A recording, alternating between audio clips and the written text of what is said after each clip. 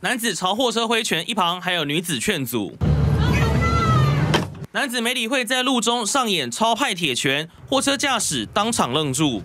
透过行车记录器画面，清楚看到宾士车从最外线车道一路杀进内侧，接着他把车停在路中间，这边是国道一号北上路段，连接车驾驶也不好惹，把宾士车一路往内逼，挤到护栏旁边。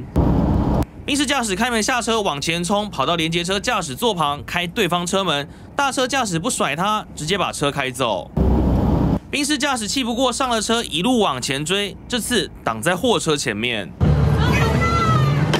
就是这台在刚才的货车惨遭冰士驾驶超派铁拳攻击。那是跟他女朋友吵架吧？那就突然在高速公路停下来，要开不开的啊？我在想说是跟他女朋友吵架。行车纠纷发生在一月二十五号半夜一点四十分，国道一号北向一百八十九公里处，货车驾驶说，当时他送完货。要从台中回台北，路中碰到宾士驾驶蛇形挡车，还遭到拦车攻击，损失惨重。超过一天就四五万的啦，再加起来应该也是七八万块吧。七八万块。货车驾驶说，当下他有报案，但高速公路上宾士驾驶驾车逃逸，影片抛上网引发热议。对此，警方说。宾士驾驶无故路中停车，最高可以开罚三万六，并吊扣车牌六个月。TVBS 新闻，陈志忠、吕正成、陈荣义、许佑祥、彰化台中上报道。